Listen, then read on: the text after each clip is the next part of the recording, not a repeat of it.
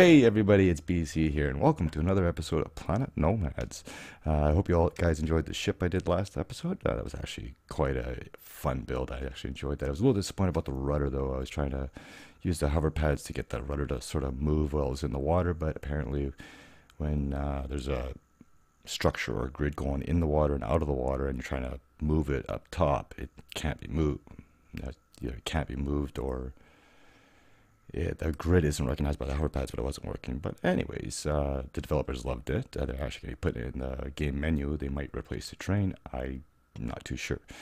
But anyways, I had another project that was wanted to do. I was actually planning on doing this last episode and or last week when I was streaming, and that is building a giant spider again.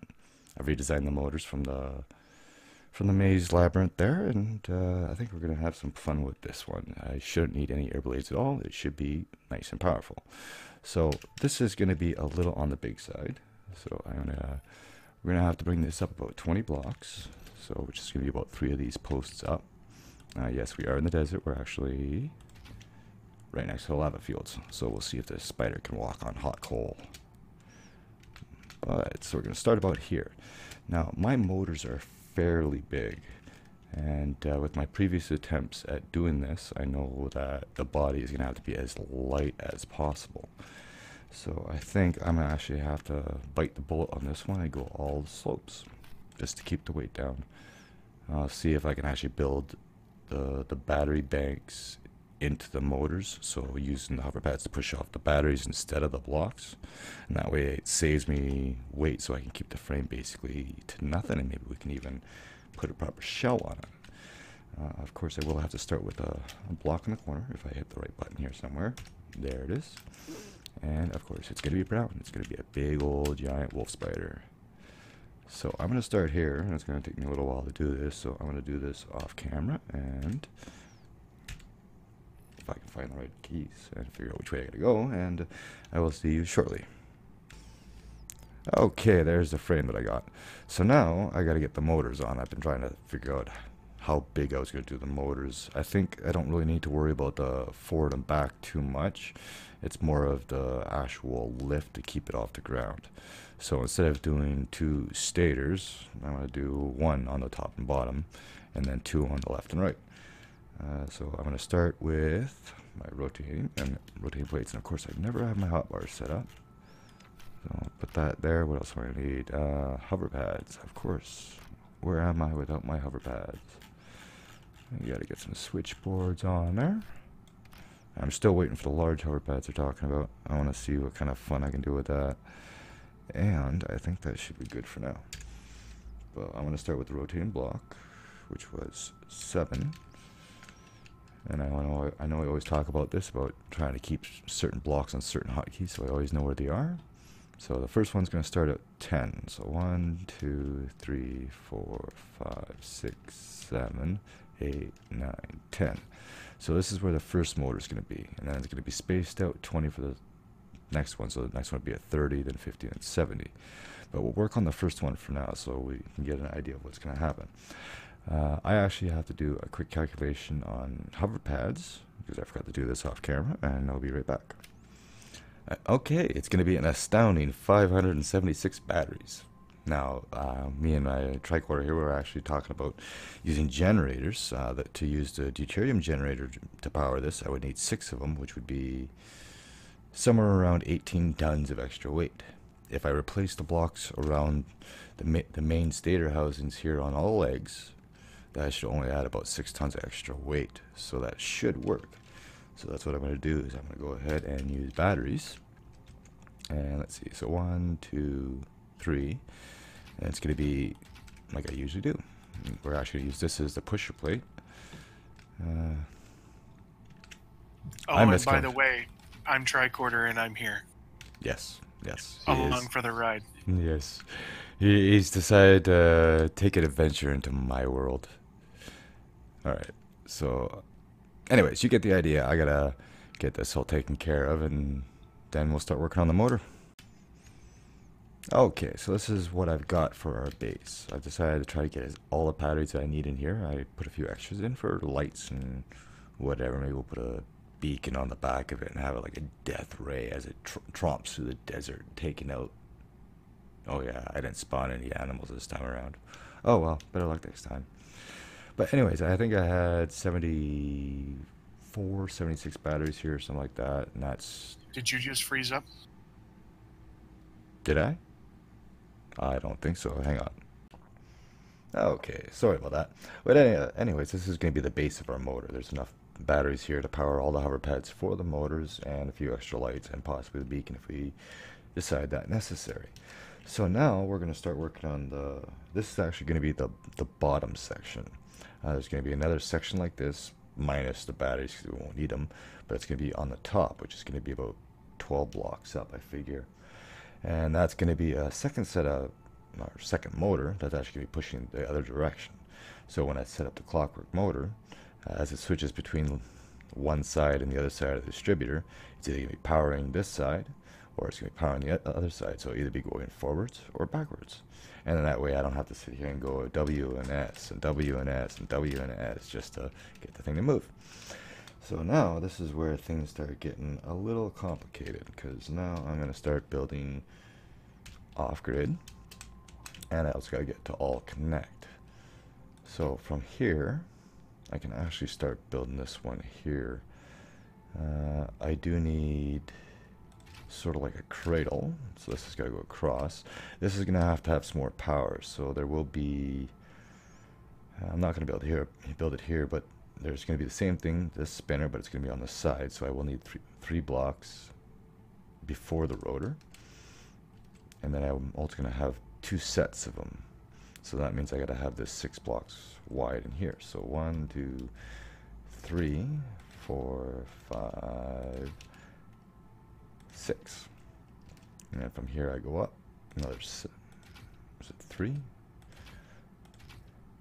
Four. And then this is where our next rotating plate is going to go.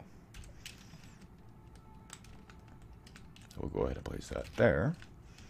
And then we get to start building the stator right off of this go for here with four, and this one can actually be a straight line because this is also where the leg is going to be connected.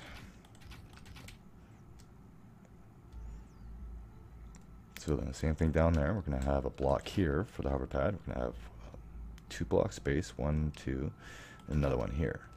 And on this one, uh, one set is going to, there's going to be two sets of these, or four sets two on this side, two on the other side. Uh, one pair on each side will turn one way, the other pair will turn the other way, and that will just uh, help get more lift and lifting the legs, and also lift, pushing down and lifting the body, so it actually, hopefully, walk, walks properly this time. But yeah, anyways, and that's going to be the outside of the hover pad, and the leg is going to be coming right off of here. And the same thing on the other side, we got a block there. We're going to have two block gap. There's another block there. And then, of course, we have to join the linkage again. So the rotor is on 7. And it does not go there. It goes there. Let's see if I got that right spot. Yes, I do. And go back to 4. Then I go down here, and we got to do the old capture maneuver.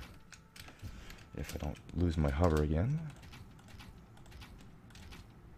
I have been looking at the the save files and I think I might be able to do some interesting stuff when the blueprinting comes out to make stuff like this comes come easier.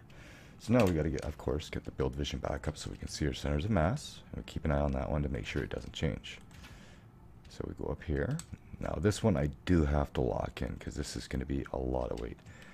Let me take, it wasn't items. There we go. Take electricity off so I can actually see what I'm doing. Alright, then keep building, keep an eye on that 31, make sure it does not change.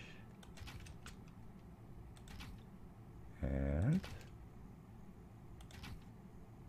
like so. And then from here, of course, I have to build up, go up, let's see. We're gonna have that, we're gonna have the hover pad, so we're gonna go up one more for the hover pad, and then that's the top of our stator, and then up top here, go across to the center point, which was where was it? Right here. And then this is to be the top section. So then we got three block gap where the hover pad is to be here. be there. No, it's to be here. Hover pad's to be there. We're to have the rotating plate. I almost had it. Was only one digit off that time. And then the block on top. And then when I go ahead and build this one, I'm going to have to find somewhere stable, maybe coming off the stator housing itself, to actually capture this point. Because I'm actually worried about this actually flexing in and out. So I'm going to get go ahead and get this first one finished up, and then I'll bring you back and I'll show you what we got. I'll even do a, a save and we'll give it a bit of a test run to see how it works. And there it is. My super mega multi-directional motor. Uh, basically what's going on is all the hover pads of course are set to hover mode. Uh, if you look, uh, these hover pads here, this one is facing down and this one is facing up. So these two are pushing against each other like I was doing with the labyrinth. So the outer two on the top push, have it going clockwise. The two in the middle have it going counterclockwise. In other words, uh, two sets on the outside push down with the legs and the ones in the middle lift the legs up. And then the same goes with the top. The ones on the top will pull the legs backwards, so they're going to be pulling forward, and the ones on the bottom are going to be. Did I do this wrong? No, no, no, I got it right here. Sorry. The ones on the top are going to be move, moving the legs forward, and the ones on the bottom moving the legs back. I've got the batteries all here. I haven't got anything set up yet. I was uh, showing Tricorder the terminal just to configure everything, but now I gotta wire it up. Now I have to have multiple multiple switchboards for this. One, I have to have a switchboard for the battery banks. I gotta have a separate switchboard for one of the the, the let's call it the forward motion. Uh, the way it's going to be working is the leg is going to be lifting up as it's going forward so I'm going to have to have the bottom one, or the inner inside ones and the top ones powered at the same time. So I'm going to get that wired up. I'm going to have those set up on their own switch. I'm going to have the ones on the outside and the bottom on their own switch. I'm going to have the batteries on their own switchboard. So that way everything can be color coded and then I can work out the timing because uh, it's not all going to be working the same direction. This leg is going to be going forward and up as this leg is going to be going down and back as the one after that is doing the same thing this one's doing and this one's going to be doing the same thing as the very last one's doing so they're going to be sort of working opposite each other. That's definitely something that would have killed the old Unity. Probably never would have been able to load the game up ever again, but we'll see how it works. So give me a moment and we'll do some wiring and I'll be right back. Okay, it is done. I've uh, put a a little bit of a stubby leg on here to stop this thing from spinning out of control. I have saved everything. I have uh, put some sunglasses on because this is going to be bright. Got the wiring set up. So I got it set up so the green one, the, the color of the switchboard determines which direction the actual leg is going, not the direction the spider's going. So the green is going to be going forwards, the red is going to be going back. So in other words, the green one is going up and forward, and the red one is going down and back. Uh, I might have to rewire it now because I was was thinking of a of a way to actually turn this, but maybe we'll work that out later. But anyways, I have done a save. Let's go ahead and unlock these things and take her for a test stroll. Well, we won't actually take this thing for a stroll, but. Uh,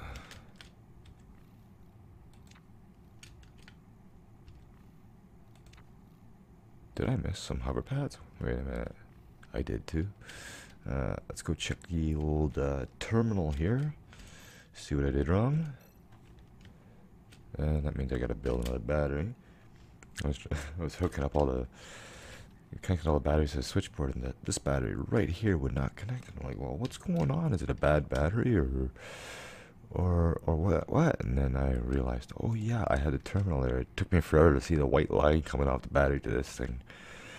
Alright, so we go, go to here to the hover pads, and I just gotta go through. Yes, some of them did not get switched over. Okay, that's actually where this thing comes in handy, because I'm seeing a few more. I'm Just gotta make sure everything is okay. If I was really being professional about my builds, I'd be naming each and every single one of them. But who says I was professional? Anyways, so that is all set. So that one is, no, that's not what I want. I want you.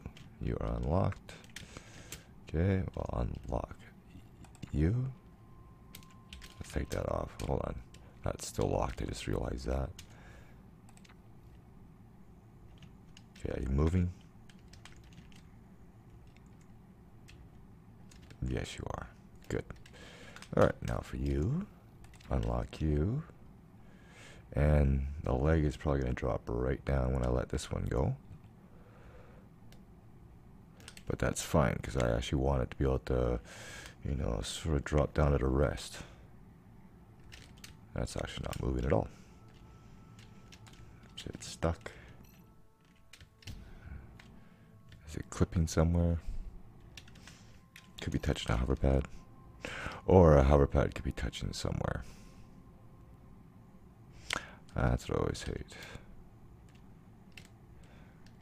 Sometimes when you place them close like this, sometimes you get them stuck a little bit.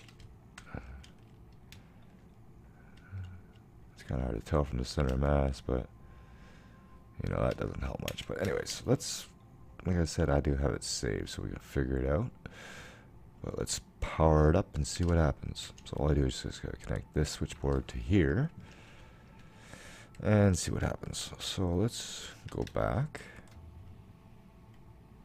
Okay, it is working. Disconnect. Yeah, it's definitely sticking. It's clipping somewhere. I think the hover pad's hitting it. Hmm. Works though, it's nice and fast. I like it. I'm wondering if I gotta get rid of this block here.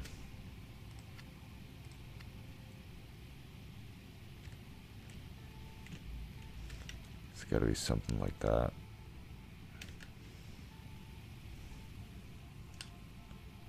Could be Hoverpad too. Which one is beyond me?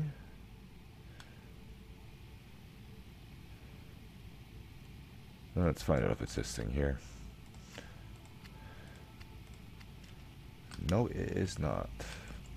So something's definitely clipping somewhere. I gotta figure it out. So yeah, give me a minute and see if I can find the, the root of this sticky situation. Okay, I've been investigating the situation, and I'm sure you see it right now. Uh, I didn't realize it when I was building this one section here. Uh, I guess my first block snapped to the hover pad over there. Because I didn't, I just noticed that section now, but I saw over here, you can actually see the gap down here. So what happened is when I was building across here, uh, when I went to go snap to this block, it snapped to the hover pad instead. So I built this entire section on that hover pad.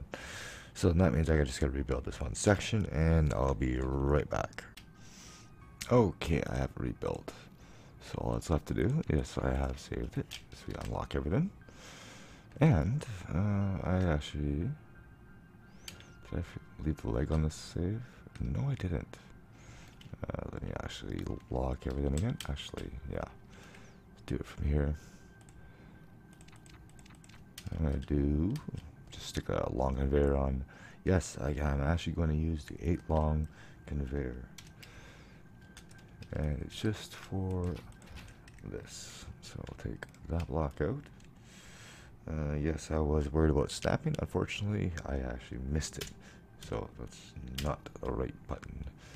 No, it's not.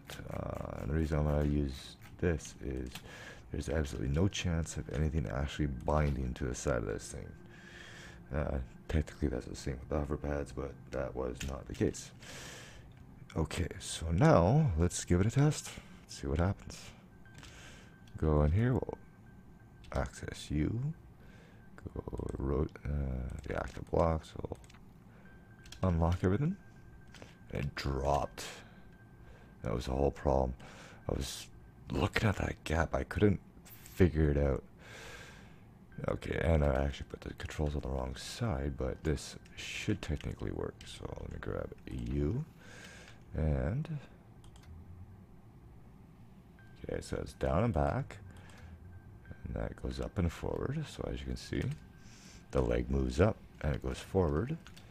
Actually, I think I can actually go back here. We can actually see it better. Yes, we can. Alright. So I disconnect that, that drops down. At the same time it gets powered. So that's the backward stroke. Of course I will have to set the stops here a little bit more. But so far this is relatively good. Of course I won't be manually doing this. This will be all controlled by a timer distributor sort of idea. And yeah, just like so. So with that, I'm going to go ahead and uh, repeat this seven more times. It's not going to happen tonight, but you'll definitely see it. So uh, I'll bring you back. And here we are at the next day. Uh, it is actually uh, technically the ne next day for me. It is about, oh, probably about three hours of work since I last brought you here, but there we go. Uh, I'd have to recalculate the power pads. Originally it was 384 minus 32, so we're looking at 362 hover pads. Batteries, we're at 640. Uh, each one of the bottom areas has 80 batteries. And then I have a lot of hover pads. I haven't configured anything. I did have to remove the switchboards, uh, disconnect all the wiring. I'm going to have to redo this next episode. Uh, yes, we're going to split this one up into two, uh, just because this is a lot of work and I want to get something up today. Uh, but yeah, so uh, I, I, actually opened this up a little bit more. I put a little brace up here just for aesthetic purposes. I know it's not going to make an absolute difference, but considering how bulky this is, this actually might work.